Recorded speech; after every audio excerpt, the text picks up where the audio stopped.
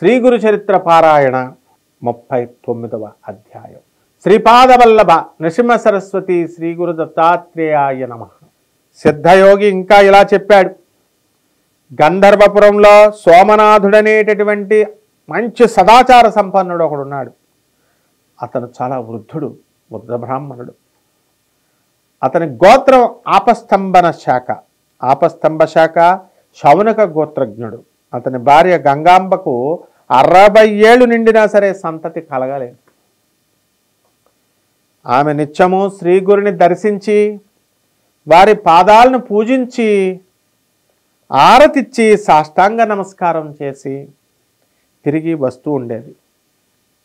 ఇలా ఆమె కొన్ని సంవత్సరాలు తదేక దీక్షతో చేస్తుండేది ఒకనాడు స్వామి నవ్వుతూ ఆ మహా ఇల్లాలితో అమ్మా ఇన్నాళ్ళుగా మమ్మల్ని సేవిస్తున్నావు. నీ కోరికేమిటో ఎప్పుడూ చెప్పలేదే. ఇప్పటికైనా చెబితే ఆ గౌరీనాథుని కృప వలన నీ కోరిక నెరవేరుతుంది అన్నారు ఆమె ఎంతో సంతోషించి దోసిలి యొగ్గి కన్నీరు కారుస్తూ దోసిలిలా పట్టుకుంది చేతులు. అడుక్కుంటూ స్వామి కొడుకులు లేని వారికి ఉత్తమ గతులు లేవంటారు కదా.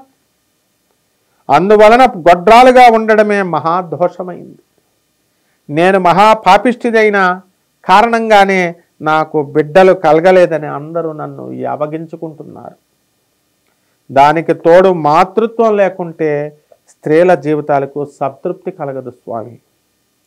పితృదేవతలు కూడా తమ కులంలో ఒక మగబిడ్డ జన్మిస్తే తమకు తిలోదకాలు లభిస్తాయని ఎంతో ఆశతో ఎదురు చూస్తూ ఉంటారు. బిడ్డలు లేని ఇల్లు ఇల్లే కాదు. మరి అటువంటప్పుడు చంకన బిడ్డనెత్తుకునేటటువంటి అదృష్టానికి నేను నోచుకోలేదు. అలాగే నాకు అరవై ఏళ్ళు నిండిపోయాయి. మరి మాకు మా పితృదేవతలకు తిలోదకాలు ఇచ్చేవాడు లేకుంటే మాకు పున్నామ నరకం తప్పదాయే. స్వామి అయ్యిందేదో అయిపోయింది. మరుజన్మలోనైనా నాకు బిడ్డలు కలిగేలాగా అనుగ్రహించండి చాలు అని ఆయన పాదాలకు నమస్కారం చేసింది. నాకు దేవుడు ఏమి ఇవ్వలేదు నాకు దేవుడు బిల్డింగ్లు ఇవ్వలేదు కార్లు ఇవ్వలేదు సరైన ఉద్యోగాలు ఇవ్వలేదు అని బాధపడుతున్నటువంటి వాళ్ళందరికీ కూడా మీకు బిడ్డల్ని ఇచ్చాడు. బిడ్డలు లేకుండా ఎంతమంది ఉన్నారో ప్రపంచంలో ఒక్కసారి చూడండి. అందువలన శ్రీ గురుడు మీకు అన్నీ ఇచ్చాడు. వాళ్ళకంటే మించినటువంటి సంతానం అనేటటువంటి సంపదనిచ్చాడు. కొన్ని కోట్ల మందికి లేనటువంటిది. కాబట్టి గురువు యందు శ్రీ గురుని యందు మీరు ఆయన్ని భక్తిని పెంచుకోవాలి? ఆయన పట్ల శ్రద్ధ ప్రేమను పెంచుకోవాలి? అప్పుడు శ్రీ గురుడు ఏం చేస్తున్నాడు? నవ్వుతూ ఓసి పిచ్చి తల్లి ఏమి కోరిక కోరావమ్మా? ఎప్పుడో రాబోయే జన్మ సంగతికి ఇప్పుడు ఎందుకు అప్పుడు బిడ్డలు కలిగినా వాళ్ళు మేమిచ్చిన వరం వలన కలిగినట్లు నీకు ఎలా తెలుస్తుంది చెప్పు? నీవు నిత్యము మమ్మల్ని ఇంత శ్రద్ధగా సేవిస్తున్నావు కాబట్టి మాకెంతో సంతోషమైంది. కనుక నీవు కోరింది ఈ జన్మలోనే లభించేలాగా వరమిస్తున్నాం. కొద్ది కాలంలోనే నీకు ఒక కూతురు ఒక కొడుకు కలుగుతారు అని చెప్పి ఆమెను దీవించారు. మనం ఏమనుకుంటాం దేవుడు నాకు ఇవ్వడం లేదు. వచ్చే జన్మలో ఇస్తాడో ఎవడో తెలియదో వచ్చే జన్మలో ఇచ్చినా చాలని ముక్తి కోరుకుంటుంది. కానీ స్మర్తృగామి సనోవతు వెంటనే కోరుకున్న వెంటనే ఇచ్చేస్తాడు. తర్వాత సద్య ఫలదాత ఎప్పుడో జన్మ నీకెందుకు? నన్ను పూజించావు. ఇప్పుడే ఇచ్చేస్తున్నాం మాకు సంతోషం కలిగిందని ఇచ్చేస్తున్నాడు. కాబట్టి దేవుడు నాకు ఇవ్వట్లేదు గురుడు నాకు ఇవ్వట్లేదు నాకు తర్వాత ఇస్తాడో లేదో వచ్చే జన్మలో ఇస్తాడా? ఇవేమీ అవసరం లేదు. నీకంటే స్పీడ్గా జెట్ స్పీడ్తో నీకు ఎప్పుడు ఇవ్వాలో ఆయనకు తెలుసు. కాబట్టి నువ్వు అడిగినప్పుడు ఇప్పుడు ఆయన నీకంటే ఫుల్ స్పీడ్తో డబల్ స్పీడ్తో నీకు ఇస్తాడన్నది మాత్రం నగ్న సత్యం. అప్పుడు గంగాంబ తన కొంగును ముడివేసుకొని స్వామికి నమస్కారం చేసింది. స్వామి ఒక మనవి చేసుకుంటాను. నా మీద కోప్పడు నేను బిడ్డల కోసం ఎన్నో తీర్థయాత్రలు చేశాను. పుణ్యతీర్థాల్లో స్నానం చేశాను. రావి చెట్టుకు ప్రదక్షిణాలు చేస్తే బిడ్డలు కలుగుతారని లోకలు చెప్పింది నమ్మి కనిపించిన రావి చెట్టు కల్లా ఇంతవరకు ప్రదక్షిణలు నమస్కారాలు చేసి చేసి అలసిపోయాను. అలానే నా వయసంతా చెల్లిపోయింది. అయిపోయింది స్వామి నా టైము. ఇటువంటి నాకు నీ వరం ఎలా ఫలించగలదా అని ఆలోచనగా ఉంది స్వామి అన్నాడు. అలానే త్రిమూర్తి స్వరూపులైనటువంటి మీ వాక్కు ఎన్నటికీ వ్యర్థం కాదన్నటువంటి ధైర్యం లేకపోలేదు నాకు. మీరు చెప్పింది జరుగుద్దని తెలుసు. ఆ ధైర్యం ఉంది నాకు. కానీ ఎలా జరుగుద్దా అని సందేహం ఉంది. మనందరికి కూడా అంతే. ఎలా చేస్తాడు స్వామి? ఎలా చేస్తాడు? మనకు డబ్బులు అడిగాము ఎలా ఇస్తాడు? అని చూడండి ఎలా ఇస్తున్నాడు. అట్లా అలాంటి విశ్వాసంతోనే ఇలా కొంగుకు కొంగును ముడివేసుకున్నాను స్వామి. ఇంతకు నాకు కలిగినటువంటి సందేహం ఇది. నేను వచ్చే జన్మలోనైనా బిడ్డలు కలగాలని కోరుకుంటుంటే మీరు ఇప్పుడే ఇచ్చేస్తానంటారేంటి స్వామి? ఇప్పుడే ప్రసాదిస్తానంటున్నారు. అయినప్పటికీ కూడా ఇన్నాళ్ళుగా నేను కాళ్ళ నొప్పులు పుట్టేలాగా రావి చెట్టుకు ప్రదక్షిణం చేస్తున్నందువల్ల కలిగినటువంటి ప్రయోజనం ఏమిటి అని విన్నవించుకుంది. చాలామంది నా శిష్యులు హోమం చేస్తూ చేస్తూ ఏమ్మా రోజు చేస్తున్నావా? రోజు చేసుకుంటాను గురువుగారు అంది. చేసుకో అమ్మా అన్న. రోజు చేసుకున్న తర్వాత గురుగారు రోజు చేసుకుంటుంటే నాకు పొగ మిగిలి దగ్గు దగ్గు వచ్చింది కానీ స్వామి కృప రాలేదు అంది. ఇంకొక శిష్యురాలు మంత్ర జపం చేసుకుంటుంటే స్వామి నాకు గూనొచ్చింది కానీ మంత్ర నా మొగుడు తిరిగి రాలేదు నా మొగుడు తిరిగి రావాలని అని అంది. కానీ తదనంతర కాలంలో వాళ్ళిద్దరికీ కూడా వాళ్ళ భర్తలు తిరిగి వచ్చారు అంటే స్వామివారి యొక్క కృపా కటాక్షం అలా ఉంటుంది. ఇది నా కళ్ళ ముందు జరిగిన సంగతి మీకు చెప్తున్నా. కాబట్టి ఇప్పుడే ఇచ్చేస్తానంటున్నారు. అయినప్పటికీ కూడా ఇన్నాళ్ళుగా నేను కాళ్ళు నొప్పులు పెట్టేలాగా రావి చెట్లకు ప్రదక్షిణం చేస్తుంటే కలిగినటువంటి ప్రయోజనం ఏమిటి స్వామి అని విన్నవించుకుంది.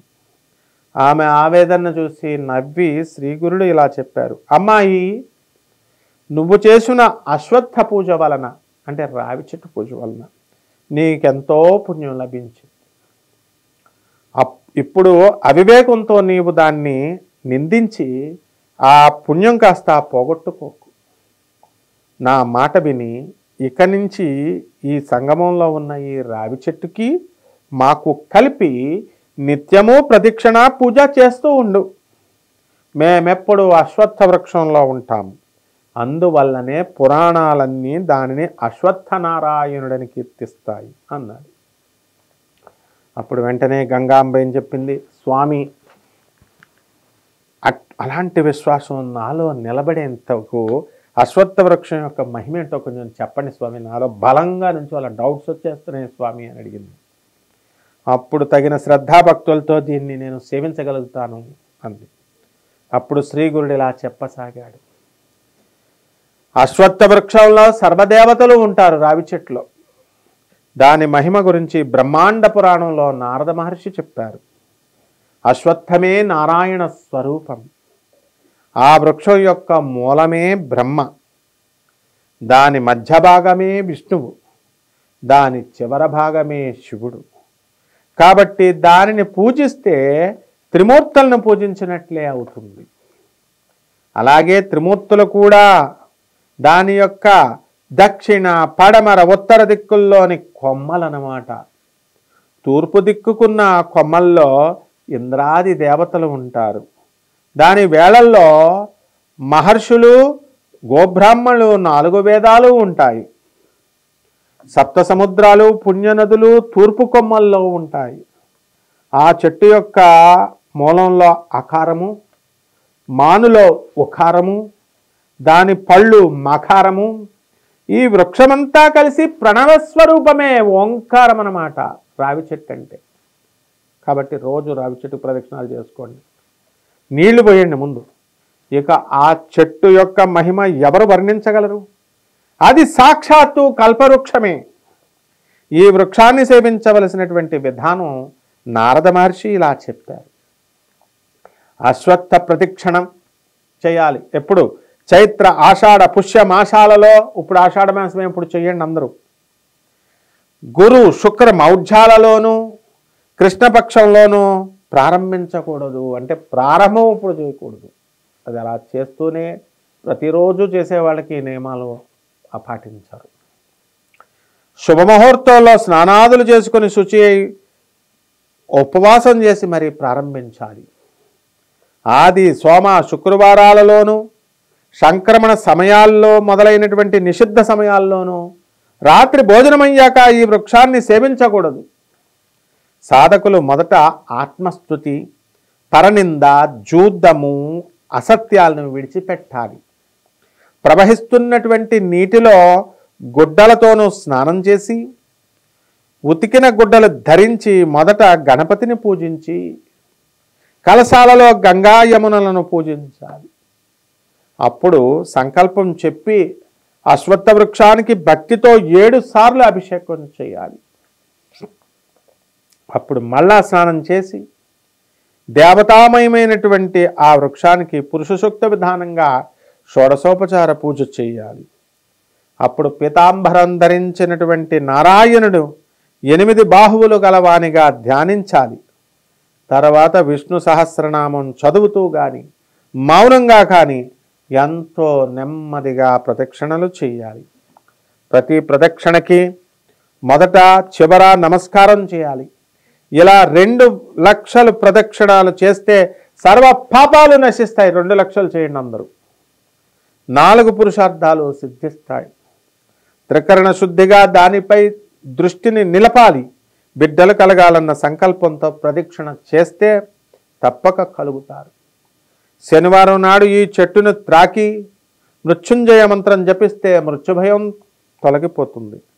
అశ్వత్థాన్ని పూజించాక యమనాలా కోణస్థ పింగళో బభ్రుహు. కృష్ణో రౌద్రాంతకో యమ. శౌరిశనేశ్వరో మంద. పిప్పలా దేవ సంస్తుత. అనేటటువంటి మంత్రంతో దృఢ విశ్వాసంతో కనుక మీరు జపించినట్లయితే శనిదోషం కూడా తొలగిపోతుంది అభీష్ట సిద్ధి కలుగుతుంది. గురువారం అమావాస్య కలిగిన రోజున రావి చెట్టు నీడన స్నానం చేస్తే పాపం నశిస్తుంది. అక్కడ వేదవిప్రునికి మృష్టాన్నం పెడితే కోటి మంది బ్రాహ్మణులకు సమారాధనం చేసినటువంటి ఫలితం లభిస్తుంది. గురువారం అమావాస్య కలిగిన రోజున మీరు రావి చెట్టు నీడలో స్నానం చేయాలి. అలాగే ఆ రావి చెట్టు నీడలో బ్రాహ్మణులకు భోజనం కనుక పెడితే మీకు కోటి మంది బ్రాహ్మణులకు సమారాధన అన్నం దానం చేసినటువంటి ఫలితం లభిస్తుంది. అక్కడ చేసినటువంటి గాయత్రి మంత్ర జపం వలన నాలుగు వేదాలు చదివినటువంటి ఫలితం మీకు లభిస్తుంది. రావి చెట్టుకి రావి చెట్టుని కనుక మీరు స్థాపిస్తే నలభై రెండు తలారి వారికి స్వర్గం లభిస్తుంది. రావి చెట్టు వేయండి అందరూ ఇళ్ళలో ఒక్కొక్కటి. దానిని కొట్టివేయడం వల్ల మహాపాపం. పైన ఈ తెలిపినటువంటి ఈ ప్రదక్షిణాలన్నీ కూడా చేశాక ఆ సంఖ్యలో పదవ వంతు హోమము అందులో పదవ వంతు బ్రాహ్మణ సమారాధన చేయాలి. ఈ వ్రతకాలంలో బ్రహ్మచర్యాన్ని అవలంబించాలి. ఉద్యాపన తర్వాత బంగారు రావి చెట్టును అలంకరించిన ఆవుదోడల్ని గుడ్డతో కప్పిన నువ్వుల రాశిని ఉదారమైనటువంటి దక్షిణలతో సౌందర్యవంతులు కుటుంబీకులు అయినటువంటి వేద విప్రులకు దానమివ్వండి. ఇలా చేస్తే మీ తప్పకుండా మీ కోరిక తీరుతుంది. అమ్మా అశ్వత్థ మహిమ తెలిసింది కాబట్టి ఇంకా దానిని నిందించకుండా ఎలాంటి డౌట్లు పెట్టుకోకుండా సంశయము పెట్టుకోకుండా ఇలా చెయ్యి. నీ అభీష్టం నెరవేరుతుంది అంది. అని చెప్పారు గురుదేవులు. అప్పుడు గంగాంబ ఉంది స్వామి అరవై సంవత్సరాల నిండి నేను పుట్టుకు నుండి వంధ్యను నాకు బిడ్డలు ఎలా కలుగుతారు? అయినా నాకేమి? ప్రత్యక్షంగా మీ పాదాలుండగా మరలా ఈ రావి చెట్టును సేవించడం ఎందుకు స్వామి? అని అనిపిస్తుంది. ఏమైనప్పటికీ గురువు మాట కామధేనువని వేదాలు శాస్త్రాలు చెబుతున్నాయి. కాబట్టి నమ్మి త్రికరణ శుద్ధిగా సేవిస్తాను అని చెప్పింది. ఆమె ఆ రోజు నుంచి కూడా మూడు రోజులు ఉపవాసం చేసింది. మూడు పూటల షట్కాల షట్కు షట్కుల తీర్థం అని ఉంటుంది మనకి. ఆ తీర్థంలో స్నానం చేసి గణగాపురంలో ఉంటుంది. గురువు చెప్పినట్లు అశ్వత్థాన్ని సేవించి దానికి ఏడు బిందులు నీళ్ళు పోసి శ్రీ గురు సహితంగా దానిని పూజించింది. ఆ మూడు రాత్రులు ఆ దేవత ఆ దంపతులు సంగమంలోనే ఉన్నారు. మూడవ నాటి రాత్రి ఆమెకి స్వప్నంలో ఒక బ్రాహ్మణుడు కనిపించాడు. అమ్మాయి నీ కోరిక తీరింది. ఉదయమే శ్రీ గురుణ్ణి పూజించి ఆయన ఇచ్చినటువంటి ప్రసాదం ప్రసాదాన్ని అక్కడికక్కడే తిని అన్నాడు. అలాగే నాలుగవ రోజు ఉదయం సంగమంలో అశ్వత్థాన్ని సేవించి ఆ దంపతులు మఠానికి వచ్చారు. ఆమె ప్రదక్షిణం చేసి నమస్కారం చేయగానే శ్రీగురుడు నవ్వి రెండు పళ్ళు ఆమెకిచ్చాడు. మీ లక్ష్యం నెరవేరింది. పారణ అయ్యాక నీవి పళ్ళు తిను. నీకు ఒక కూతుర్ని కొడుకుని ఇస్తున్నాం. ఇంటికి వెళ్ళి పారణ భోజనం చేసి బ్రాహ్మణులకు దానం ఇవ్వు అని చెప్పారు ఆమె అలాగే చేసింది. ఆ రోజే సూర్యాస్తమయ సమయానికి ముందే ఆమె రజస్వల అయింది నాలుగవ రోజున స్నానం తర్వాత ఆమె భర్తతో కూడా శ్రీగురుని వద్దకు వచ్చి గురుపూజ చేసింది. శ్రీగురుడు నీకు పూర్ణాయుష్కులైనటువంటి బిడ్డలు కలుగుతారు. నీకు ముక్తి లభిస్తుంది అన్నారు. ఐదవ రోజున భర్తృ సమాగమం వలన ఆమె గర్భం ధరించింది. ఆమె భర్త ఎంతో సంతోషించి పుంసవనము ఎనిమిదో నెలలో సీమంతము ఇలాంటి మొదలైనటువంటి సంస్కారాలన్నీ కూడా ఘనంగా జరిపించాడు. ఆమె ఏడవ మాసంలో మళ్ళీ శ్రీగురుని దర్శించి ఆశీస్సులు పొందింది. అప్పుడు శ్రీగురుని ఆజ్ఞ మేరకు ఆ పండు ముత్తైదవ వాయుదానం ఇచ్చింది. వాయనదానాన్ని ఇచ్చిందనమాట నల్లని వెంటుక ఒక్కటైనా లేకుండా జుట్టు నెరిసి పళ్ళన్నీ పట్టు తప్పిన తర్వాత కూడా ఆ వయసులో ఆమె గర్భవతి ఎలా అయిందో ఆశ్చర్యంతో అందరూ ముక్కును వేలేసుకున్నారుగా శ్రీగురుని మహిమ ఎంతటిదో అందరికీ అర్థమైపోయింది. ఆమెకు నవమాసాలు నిండాక ఒక శుభముహూర్తంలో ఆమెకు ఆడపిల్ల కలిగింది. దైవజ్ఞులు ఆమె శుభ జాతకురాలని చెప్పారు. ఆ బిడ్డకు శ్రీగురుని పేరిట సరస్వతి అని పేరు పెట్టుకున్నారు.